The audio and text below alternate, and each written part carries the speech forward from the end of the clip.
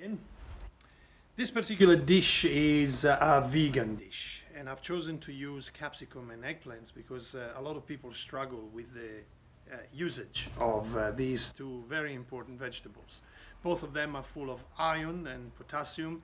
Capsicum has uh, a lot of vitamin C and fiber as well. So I would highly recommend to uh, use them as much as you can in your cooking. They both need a little bit of attention though before start cooking, so I divided the segment in stage 1 and stage 2.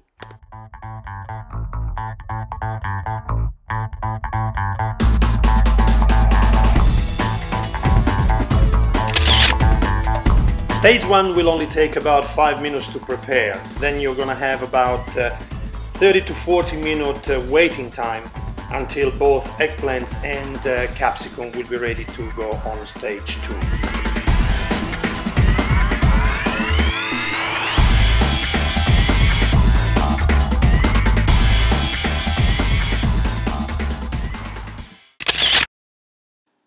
Stage 2 is uh, a little bit more demanding, but uh, in about 20 minutes you should be able to be sitting down in front of your completed dish.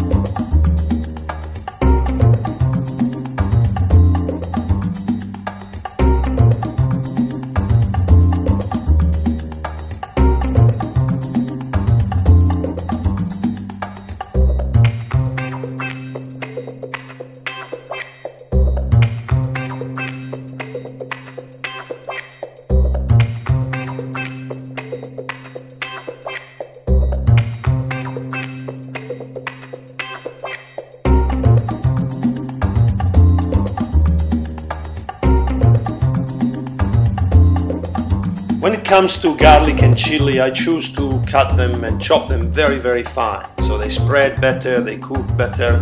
And with chili, I keep it in the freezer so it preserves for longer. And when you chop it up, it actually shatters almost like uh, glass. As uh, consequences uh, to the salting of the slices, you'll find a lot of brownish water uh, left uh, in the sink that's where uh, some of the bitterness was uh, kept and it's now released.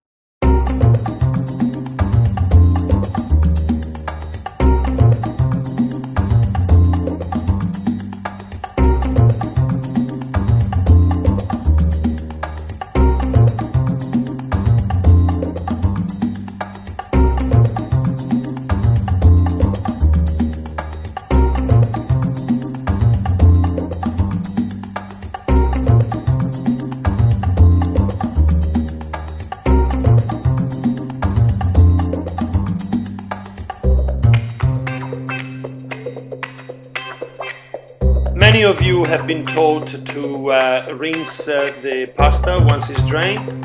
It's a big mistake. You will wash away part of the flavor, so don't do it. And of course, unless you are following a vegan diet, parmesan will work extremely well with this dish.